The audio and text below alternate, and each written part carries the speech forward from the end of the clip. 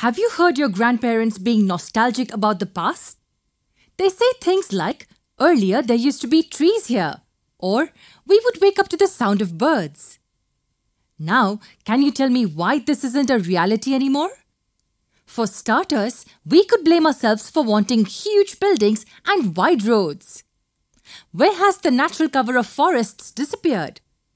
In truth, we have cut down all those trees in the name of development. Can you tell me what this process is called where many trees and plants are cut out? Yes, we call it deforestation. Clearing up forests for human benefit is called deforestation. Can you name a few reasons why man clears up forest lands? Agriculture, that's right. We clear land to bring more land under cultivation. What other reasons can you think of? Yes, for building factories, houses, and roads. And what about cutting trees for wood and fuel? Isn't that another reason? Of course it is. Man has cut trees over the years, and do you know this very action has caused some serious reaction? Yes, we call them consequences. We cannot get away by reducing the green cover on our planet. Trees and plants are a part of an ecological chain and they maintain a specific balance.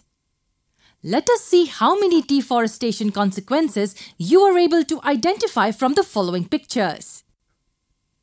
You can now imagine the extent of consequences deforestation has, can't you?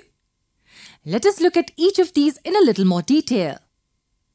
Trees and plants give out oxygen and use carbon dioxide during photosynthesis. With reduced plants and trees, the level of carbon dioxide on the earth is increasing. Carbon dioxide cannot escape into space, and like many other harmful gases, it is creating a blanket of heat around the earth. This increasing heat has led to a famous phenomenon known as global warming. This is the cause of the increase in the temperature of the Earth. Do you know that according to studies, the last few decades of the 20th century have been hottest in the last 400 years? This can create a chain of events. High temperatures affect the water cycle. Glaciers melt at an alarming pace. Soil cannot hold excess water during rainfall or even rise in sea level. Both these events can cause floods.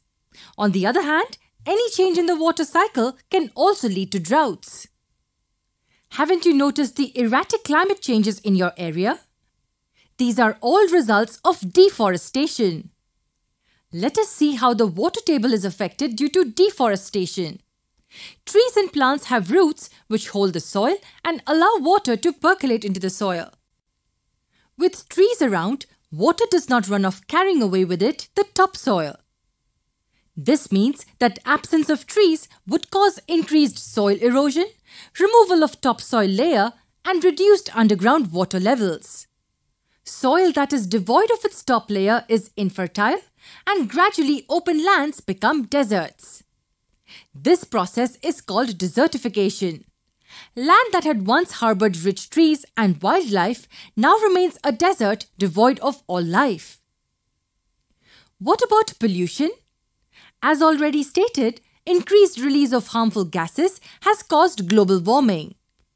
This pollutes the air around us. It is therefore evident that all consequences are interrelated. Rampant cutting down of trees will only add to more problems around us. What can we do to prevent this? Can we repair the damage done?